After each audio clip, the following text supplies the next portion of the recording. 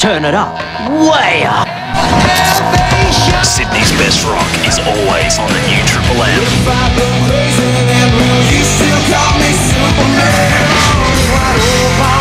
The new Triple M plays more new and 90s rock. The new Triple M plays Sydney's best rock. The new Triple M, now with added newness.